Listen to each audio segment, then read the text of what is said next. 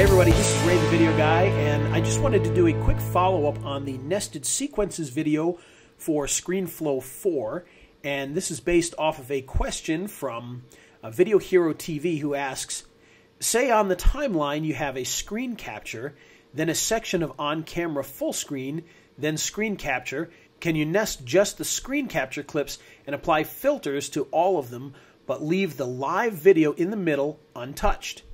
Well, the answer is yes, you can, and I've set up a quick little sequence here. This is some screen capture followed by a stand-up of me and then more screen capture.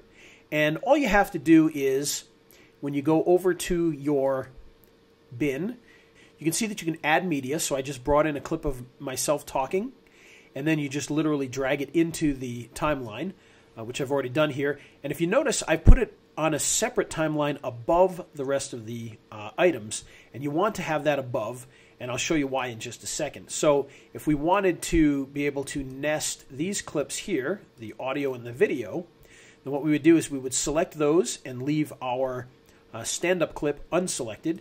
Once again, hit Nest Clips, and you'll see it's nested it down into one clip down here, and you'll notice that there's a blank section here. That's the open space. So for instance, if we um, if we move this out of the way for just a second, you would see that you've got your screen capture followed by just black, which is where the hole was, and then more of the screen capture.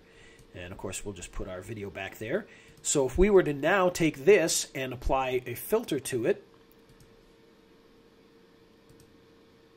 such as, oh, let's say we wanted a comic effect on it, we'd hit add.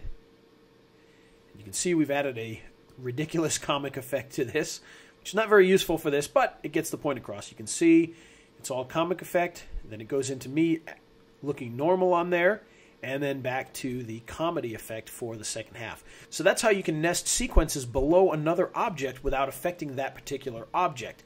This would also work for green screen video as well, so you could have the uh, the comic book effect here, and you could actually have me green screened here and have the comic effect all around me as well. So that's how you would do that. And of course, if you have any questions about ScreenFlow 4, be sure to ask below. And if you're looking to pick up a copy of ScreenFlow 4, be sure to click the link below this video or visit raythevideoguy.com slash ScreenFlow.